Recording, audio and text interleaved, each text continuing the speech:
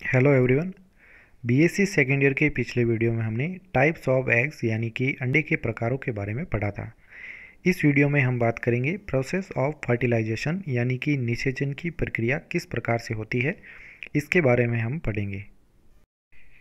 तो बात करते हैं फर्टिलाइजेशन क्या है the fusion of haploid male gamete and haploid female gamete to form a diploid zygote is called fertilization तो जब अगुणित प्रकार के जो मेल गेमेट यानी कि नर युग्मक जो होते हैं, जिन्हें हम शुक्राणु कहते हैं एंड हैप्लॉइड फीमेल गेमेट यानी कि ऐसे अगुणित मादा युग्मक जिन्हें अंडाणु कहते हैं, जब ये डिप्लॉयड प्रकार का जाइगोट यानी द्विगुणित जाइगोट का निर्माण करता है तो इसे फर्टिलाइजेशन कहते हैं। तो यानी कि इसमें फर्टिलाइजेशन प्रोसेस के अंदर मेल गेमेट यानी स्पम तथा ओवम का फ्यूजन होता है, यानी इनमें आपस में संगलन होता है और इसके द्वारा द्विगुणित जाइगोट का निर्माण होता है। तो इस प्रक्रिया को हम फर्टिलाइजेशन या निषेचन की क्रिया कहते हैं। According to place and nature of fluid media following two kinds of fertilization have been reported तो स्थान तथा उसके उसका जो नेचर है यानी प्रकृति जो है उसके फ्लूड मीडिया यानी तरल माध्यम की, उसके आधार पर जो है वो दो प्रकार के फर्टिलाइजेशन या निषेचन की क्रियाएँ होती है। एक होता है एक्सटर्नल फर्टिलाइजेशन यानी बाह्य निषेचन और दूसरा होता है इंटरनल फर्टिलाइजेशन या आंतरिक निषेचन। तो दो प्रकार से निषेचन की क्रियाएँ होती है जीवों के अंदर। तो सबसे पहले आता है एक्सटर्नल फर्टिलाइजेशन क्या है? बाह्य निषेचन। This type of fertilization occur in liquid medium outside the bodies of parent animal. यानी कि इस प्रकार का जो निषेचन है, वो होता है किसी तरल माध्यम के अंदर और यह जो पेरेंट एनिमल होते हैं, यानी पैतृक जंतु, यानी नर तथा मादा, दोनों के ही शरीर से बाहर की ओर किसी तरल माध्यम में ये निषेचन होता है। तो अधिकांश जो है जलीय जंतुओं के अंदर, यानी एक्वेटिक एनिमल्स जो होते हैं, उनमें इस प्रकार का एक्सटर्नल निषेचन यानी फर्टिलाइजेशन पाया जाता है। तो अधिकांश मछलियों के अंदर एम्फीबिया में तथा जो एक्वेटिक इनवर्टिब्रेट यानी जल में रहने वाले अकशरु की जो जंतु होते हैं, इन सभी में इस प्रकार का बाह्य निषेचन पाया जाता है। दूसरा आता है इंटरनल फर्टिलाइजेशन आंतरिक निषेचन।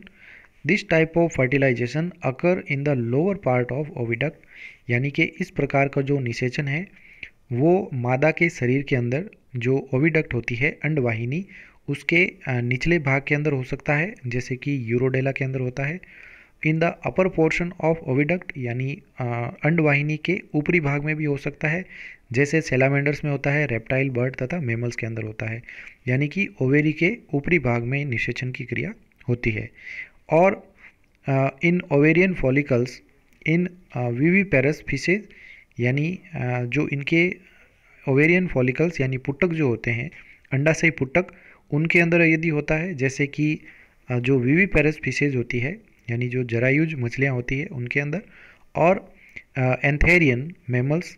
तो और इस प्रकार से इनके अंदर मेमल में यानी स्तनधारी जीवों के अंदर भी इस प्रकार के निषेचन देखने को मिलते हैं। अब बात करते हैं साइट ऑफ़ फर्टिलाइजेशन यानी निषेचन के स्थान की। तो मेमल्स के अंदर fertilization takes place mostly in ampullary isthmic junction of oviduct या इसे कहते हैं फेलोपियन ट्यूब यानी स्तनधारी जीवों के अंदर जो निषेचन की क्रिया होती है, वो अधिकांश एम्पुला तथा स्तमस के जंक्शन यानी जुड़ाव के स्थान पर पाया जाता है, जो कि इनमें ओविडक्ट का होता है। यानी कि फेलोपियन ट्यूब के स्तमिक और एम्पुलरी जंक्शन पर ये निषेचन की क्रिया होती है। मूवमेंट ऑफ़ स्प्रम यानी कि जो शुक्राणु होते हैं, वो किस प्रकार से गति करते हैं यूट्रस के अंदर। Primarily contraction of the uterus and fallopian tubes assist in sperm movement यानी प्राथमिक रूप से जो यूट्रस यानी गर्भाशय तथा फेलोपियन नलिकाएँ जो होती है, उनमें कॉन्ट्रैक्शंस यानी संकुचन जो होते हैं वो स्पम की गति को बढ़ाते हैं, यानी वो स्पम को आगे बढ़ने में सहायता करते हैं। But later on they move by their own mobility और बाद में ये जो स्पम या शुक्राणु होते हैं, ये स्वयं जो है अपनी गतिशीलता प्रदर्शित करते हैं, जो कि पूंछ की सहायता से स्पम आगे की ओर तैरते हैं। Sperms swim in fluid medium at the rate of 1.5 to 3 millimetre per minute तो स्पम जो होते हैं वो किसी तरल माध्यम के अंदर जो है वो तैरते हैं, जो कि 1.5 से 3 मिलीमीटर पर मिनट के हिसाब से ये आगे बढ़ते हैं और अपनी आगे की साइड पर पहुँचते हैं। The leukocytes of the vaginal epithelium engulf millions of sperm तो वेजाइनल एपिथेलियम यानी कि योनि के अंदर पाए जाने वाली जो एपिथेलियम होती है और उसके अंदर जो ल्यूकोसाइड्स होते हैं, ये अनेक मिलियन स्पम्स को ये जो है वो खा जाते हैं, यानी ये उन्हें नष्ट कर देते हैं। अब बात करते हैं अराइवल ऑफ़ सेकेंडरी ऊसाइड जो द्वितीयक उत्तक होता है, वो किस प्रकार से पहुँचता है आगे फेलोपियन ट्यूब में। इन ह्यूमन बींग्स यानी मानव के अंदर secondary oocyte is released from mature Graafian follicle of an ovary यानी कि मानव के अंदर जो द्वितीयक ऊसाइट होता है, यह मैच्योर ग्राफिन ग्राफिक ग्राफियन जो फॉलिकल होते हैं या पुटक जो होते हैं, जो कि ओवेरी यानी अंडाशय के अंदर पाए जाते हैं, उसके द्वारा ये रिलीज़ या इन्हें स्वतंत्र किया जाता है और इस क्रिया को हम ओव्यूलेशन कहते हैं या अंडोत्सर्ग इसे कह सकते हैं। The oocyte is received by nearby fallopian funnel तो जो ये ऊसाइट जो सेकेंडरी ऊसाइट होता है जब रिलीज़ किया जाता है ओवेरी के द्वारा यह रिसीव किया जाता है। पास में ही उपस्थित फेलोपियन जो फनल या कीप होता है फेलोपियन ट्यूब का जो कीप होता है, उसके द्वारा इसे रिसीव किया जाता है and sent into fallopian tube और इसे फेलोपियन नलिका के अंदर भेजा जाता है by movements of fimbriae and their cilia और इनके अंदर जो फिमरी होती है, उसके द्वारा और उसके अंदर जो सीलिया होते हैं पक्षमाव इनकी गतियों के द्वारा इन्हें जो है वो फेलोपियन ट्यूब के अंदर धकेला जाता है। The secondary oocyte can be fertilized only within twenty four hours after its release from ovary तो जो द्वितीयक ऊसाइट होता है, ये निषेचित किया जा सकता है केवल 24 घंटे तक जब ये ओवेरी से रिलीज़ हो जाता है। यानी अंडाशय से निकलने के बाद 24 घंटे तक इनमें फर्टिलाइज होने की क्षमता रहती है। यानी ये निषेचित हो सकते हैं। और इस समय के दौरान यदि स्पम यहाँ तक पहुँचता है तो वह स्पम इसे निषेचित कर सकते हैं। The secondary oocyte is surrounded by numerous sperms यानी जो द्वितीय ओसाइट होता है, जब यह फेलोपियन ट्यूब में आ जाता है तो यह अनेक स्पम्स के द्वारा घिरा रहता है। यानी शुक्राणु जो है, इसके चारों ओर एकत्रित हो जाते हैं but only one sperm succeeds in fertilizing the oocyte लेकिन इन सभी स्पम या शुक्राणुओं में से केवल एक शुक्राणु ऐसा होता है जो इसे निषेचित करने में सक्षम होता है। तो एक स्पम ही उस साइड को निषेचित कर सकता है। Since the second meiotic division is in progress अब इसके अंदर जो अंडाणु होते हैं सेकेंडरी ओसाइट उनके अंदर जो सेकेंड दूसरा जो अर्धसूत्री विभाजन होता है, वो उसमें प्रोग्रेस में होता है, यानी चल रहा होता है, यानी वो उसमें रुका हुआ रहता है so the sperm enters the secondary oocyte और इसके साथ में ही जो है वो जब स्पम इसके अंदर एंटर करता है सेकेंडरी ओसाइट के अंदर तो जो सेकेंड मियोटिक डिवीज़न होता है, वो शुरू हो जाता है Second meiotic division is completed by the entry of the sperm into the secondary oocyte. तो जो दूसरा अर्धसूत्री विभाजन होता है अंडाणु के अंदर, वह कंप्लीट होता है जैसे ही स्पर्म इनके अंदर एंटर करता है। यानी शुक्राणु के निषेचन होने के बाद इनमें द्वितीयक अर्धसूत्री विभाजन होता है। After this secondary oocyte is called ovum अब जैसे ही इसके अंदर दूसरा मियोटिक डिवीज़न जब हो जाता है, यानी अर्धसूत्री विभाजन कंप्लीट हो जाता है तो इसे ओवम या अंडाणु कहा जाता है।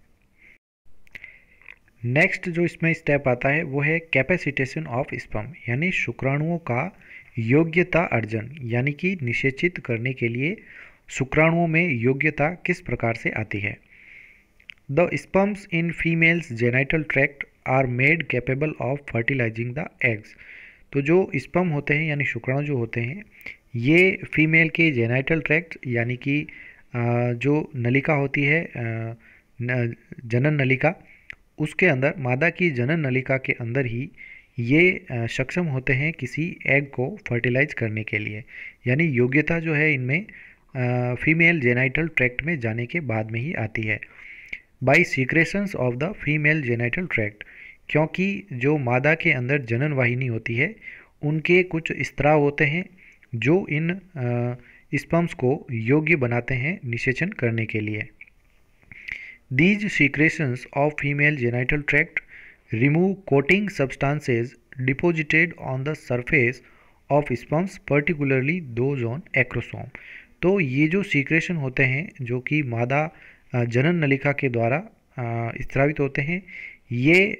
एक्स्ट्रा जो सब्सटेंस या पदार्थ जमे हुए होते हैं शुक्राणु के ऊपर, उन्हें ये हटाता है और विशेष तौर पर उन सब्सटेंसेज को हटाता है जो इसके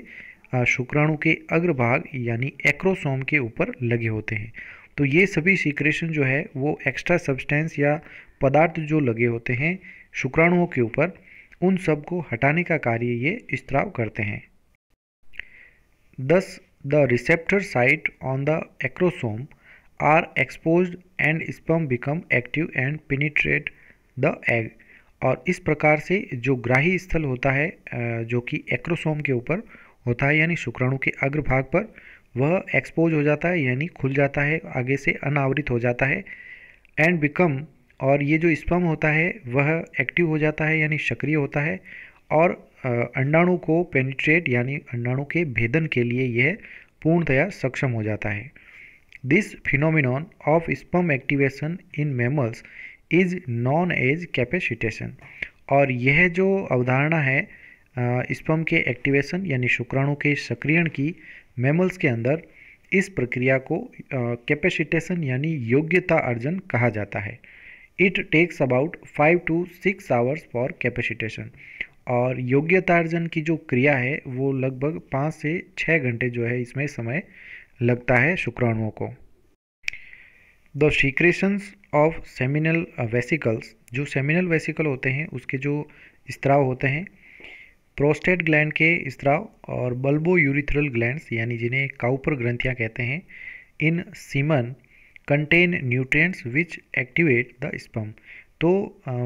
जो नर के अंदर पाए जाने वाले सेमिनल वेसिकल्स होती है, प्रोस्टेट ग्रंथि और बल्बो यूरिथ्रल ग्रंथि, यानी काउपर ग्रंथियाँ जो होती है, ये वीर्य के अंदर उपस्थित जो न्यूट्रिएंट्स होते हैं, ये सभी स्पम को, यानी शुक्राणु को, एक्टिवेट या सक्रिय करने में सहायक होते हैं। The secretions of these glands also neutralize the acidity in vagina तो ये जो सीक्रेशंस होते हैं इन ग्रंथियों के द्वारा, यानी ये जो ग्रंथियाँ हैं नर के अंदर, ये जो ग्रंथियाँ स्त्राव करती है, ये सीक्रेशन जो होती है न्यूट्रलाइज करते हैं, यानी उदासीनीकरण की क्रिया करते हैं एसिडिटी इन वेजाइना यानी योनि के अंदर उपस्थित अम्लता जो होती है, उसे उदासीन करने के लिए भी इन ग्रंथियों के द्वारा जो स्त्राव किए जाते हैं, वो सहायक होते हैं। Alkaline medium makes the sperm more active. और जो सारी माध्यम होता है इनके अंदर तो सारी माध्यम जो है वो शुक्राणुओं को और अधिक एक्टिव बनाता है। तो इस प्रकार से शुक्राणु जो है वो सक्रिय हो जाते हैं, यानी एक्टिव फॉर्म में आ जाते हैं। Thank you so much. इसके बाद का नेक्स्ट जो प्रोसेस है, वो हम अगले वीडियो के अंदर पढ़ेंगे।